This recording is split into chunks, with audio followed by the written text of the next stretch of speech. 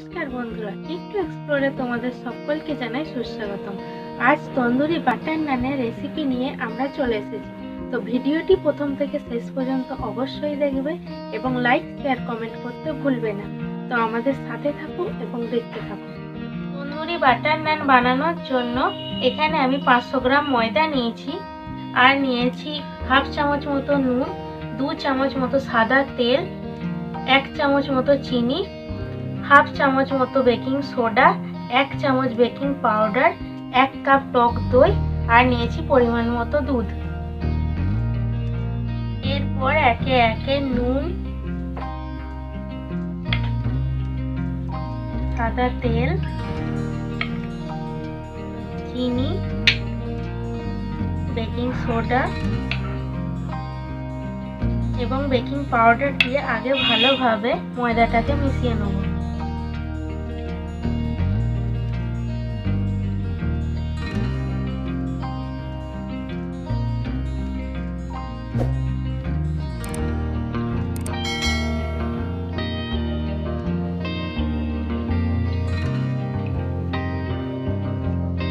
ভালোভাবে মেশানো হয়ে গেছে, এরপর এতে টক দইটা দিয়ে দেবো।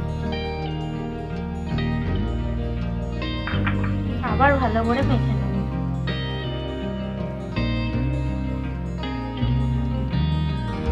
টক দই দিয়ে ভালোভাবে মেখে নেওয়ার পর এরপর আমি এতে দুধ দিচ্ছি।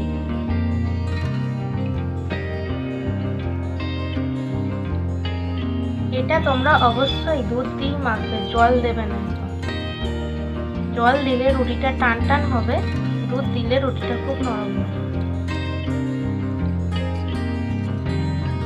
এরপর এটা আমি ভালো করে মেখে নেব। ডো মাখা রেডি হয়ে গেছে। ডোটা খুবই নরম ভাবে মাখতে হবে। এরপর এটা এক ঘণ্টার জন্য আমরা ঢাকা দিয়ে রেখে দেবো।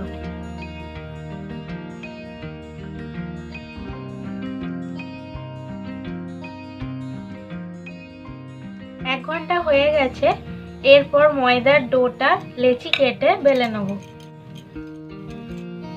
লেচিগুলো অবশ্যই একটু বড় বড় সাইজের কাটবেন, যেহেতু নানটা একটু মোটা মোটা হয়।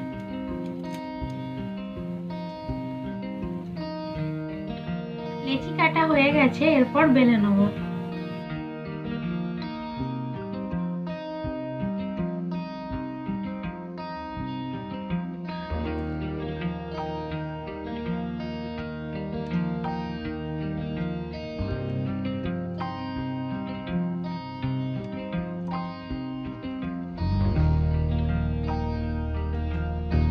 বেলার জন্য আমি এখানে ময়দা ব্যবহার করেছি।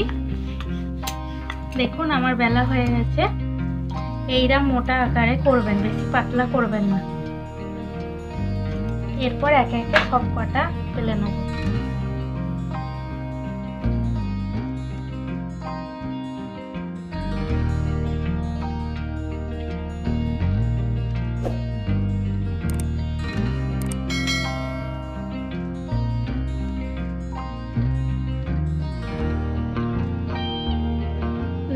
বেলা হয়ে গেছে এরপর একে একে সেঁকে নেব।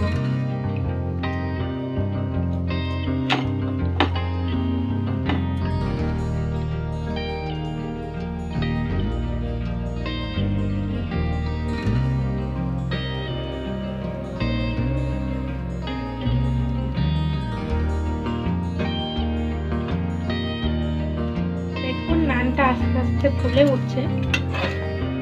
তাওয়াতে আগে ভালোভাবে সেঁকে নিতে হবে। এটা আরেকটু সেঁকা হবে। আর একটা গ্যাস কেন জ্বালিয়েছি একটু পরেই দেখতে পাবেন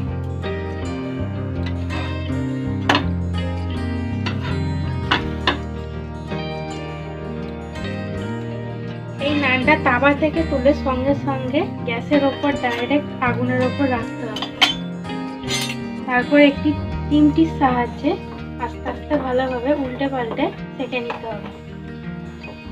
এটা আগুনে না দিলে যে তন্দুরের স্মোকি ফ্লেভারটা হয় সেটা আসবে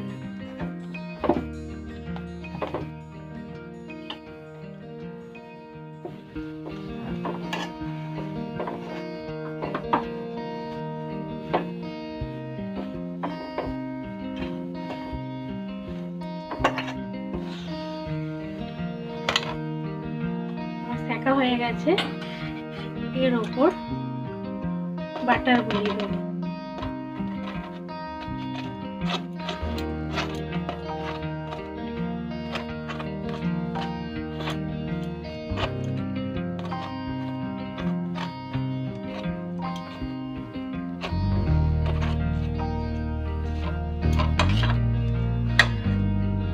দেখুন রেডি হয়ে গেছে আমাদের বাটার নান।